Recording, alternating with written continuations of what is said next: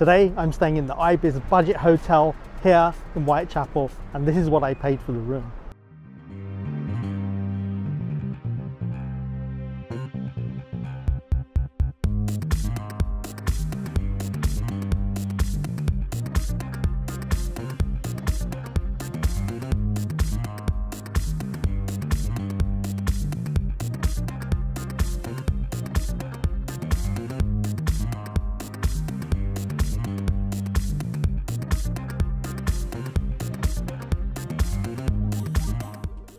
Okay, so I'm staying in room 620. Let's go and have a look inside.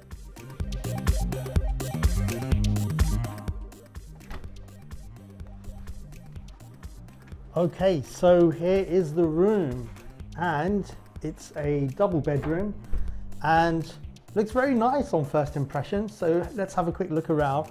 Now the first thing you'll notice as you walk into the room, you've got this open sink and take a look in here, you've got the shower, which is quite unusual because you've got everything you need within the room itself, right? So it's an open plan, shower and sink.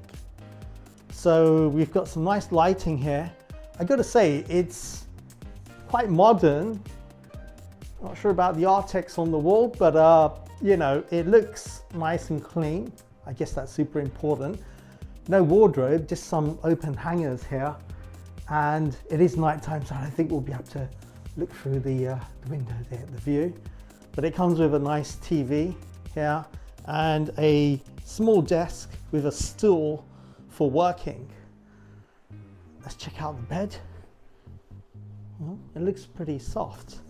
Okay, so we got some towels here as well. So all in all, a very compact room. Very nice.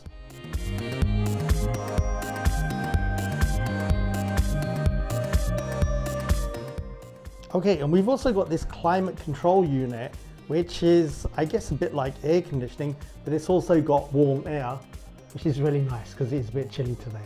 Okay, and here is the toilet. There is a toilet in here, and it's within its own door. And I can see what they've done here. They've kept Okay, and here is the toilet bit, which is in a small cubicle separated from, from the room. And what they've done here is, well, you can see it better from this angle, had an open area for the shower and sink, which is directly on onto the room.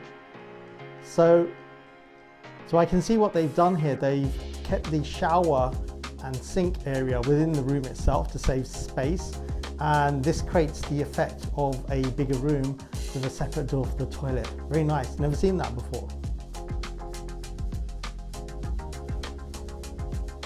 Okay, so there you have it. The room is very nice, it's clean and it's tidy. Also, the check-in experience was great. It was seamless and only took a few minutes. I've got breakfast in the morning, so let's go and have a look at that.